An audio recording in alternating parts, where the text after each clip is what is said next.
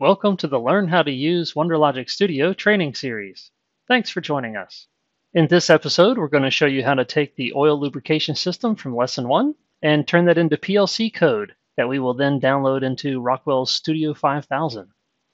Okay, now that we've finished designing our project, which in this case was the oil lubrication system from Lesson 1, we'll export it to the PLC and generate code. In the next video, we'll also show you how you can test our model from within WonderLogix once it's loaded into the PLC. To generate the PLC code, click File, Export to PLC, and in this case we're going to pick Rockwell's Allen-Bradley Studio 5000. We could pick Siemens as well, which shows experimental in this recording because we were using a beta version of the release, but for this video we'll show you how to download to Rockwell's Allen-Bradley Studio 5000. We're going to use the default hardware configuration as well, and click OK. Once we do this, the code is automatically generated and the model logic verification tool is automatically run to ensure there are no critical errors. In this case, the yellow warnings, if you remember from our lesson, were due to the root level inputs enable and reset, which of course don't have logic because they are in the root, and so this is okay in our model. Now, since this model is okay, meaning it has no critical errors, it then brings us to this pop-up dialog to ask us to name our PLC export file. Be sure to not use any spaces in this name and click Save, and you will have created your Studio 5000 formatted L5X file. In our case, we'll just overwrite a previous file called Lubrication System L5X.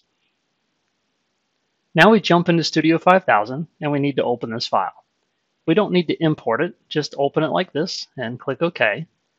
And before it's converted to an ACD file, which is a Studio 5000 project file, we want to be sure to pick from the lower left and choose our firmware revision level.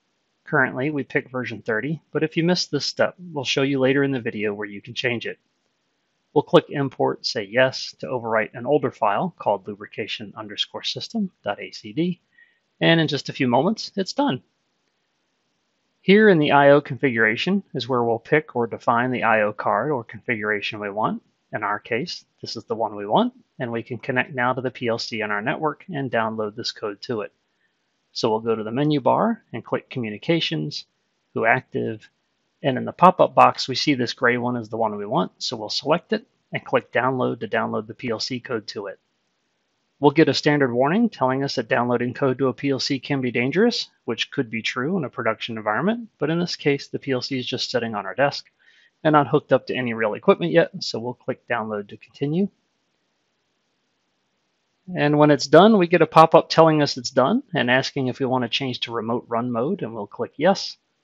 Now, as we mentioned before about matching the firmware version, if it doesn't match, we'll get a warning. And to fix it, we can right-click the top item here for the controller, and then click Properties. And here on the General tab, you'd see this button available to click called Change Controller.